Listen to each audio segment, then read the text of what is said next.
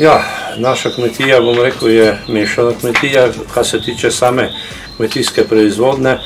Je govedoreje, tam stalno čez 20 govedi, eh, čez 40 ovc, potem so osli, konji, prašiči, med njimi imamo tudi kaškopolce, eh, eh, potem perutnine shranimo čez 500 komadov na leto. V glavnem bistvu nam je ta pestrost je pomembna za to, ker večina teh stvari stržimo na naši turistički kmetiji, se pravi na mizi.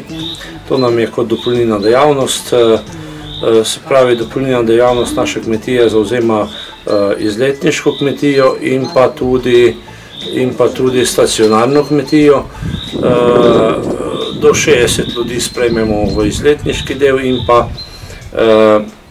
tam nekje 28 v, v stacionarni del kmetije. Ne.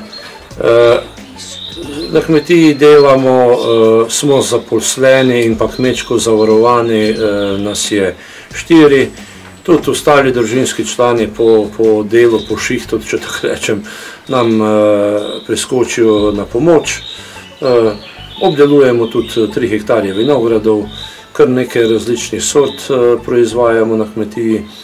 Trudimo se, da na nek način to, to kmetijo obdržimo, to našo tradicijo naše kmetije peljemo v naslednji rod.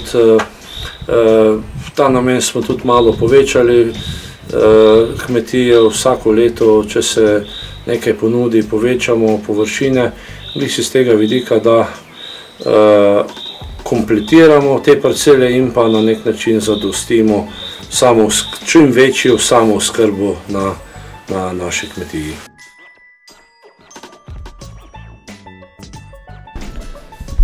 Kmetija pri Martinovih s kmečkim turizmom je lahko vzor vsem, ki bi se radi ukvarjali s to dejavnostjo.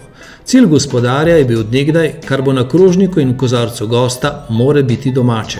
Kaj vse znajo? Zorjeno goveje meso, jagnetina, domače koline, perutnina, sadje in zelenjava – ob tem pa nova infrastruktura, kot je plavalni bazen, sauna, namestitvene sobe in na najlepši razgledni točki posebna zidanica za goste. V vinski kleti, kateri gospodar pravi kar knjižnica, smo poleg odličnega cvička modre frankinje z imenom Modra dama preizkusili tudi vino Karakter. Karakter je prvo vino, ekološko vino, se pravi, ki je z certifikatom,